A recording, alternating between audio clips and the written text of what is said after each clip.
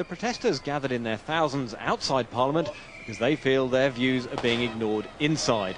This is the day of the vote, the day when they might lose part of their way of life.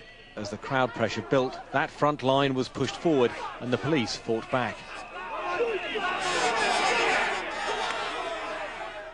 Well, as we've already seen, outside the Commons there were violent clashes between police and some of the pro-Hunt supporters.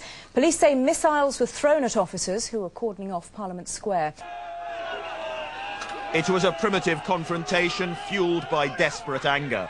The pro-hunting people know that after centuries a ban is almost upon them.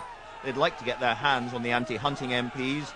At this stage, however, all they can reach are the police protecting Parliament. But however many fists fly, it seems this ban will go through the Commons today. Sky's Alex Rossi was in the crowd as the violence broke out. We don't really know what has caused this. As you can see, there are some more scuffles going up down here. There's a bit of a surge going on.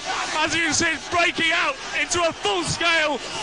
I'm just trying to stabilise the camera for my cameraman. We're being pushed into the police cordon as well. The clashes flared as some protesters tried to surge forward towards the Houses of Parliament, where MPs were deciding not just the fate of a sport, but of many livelihoods.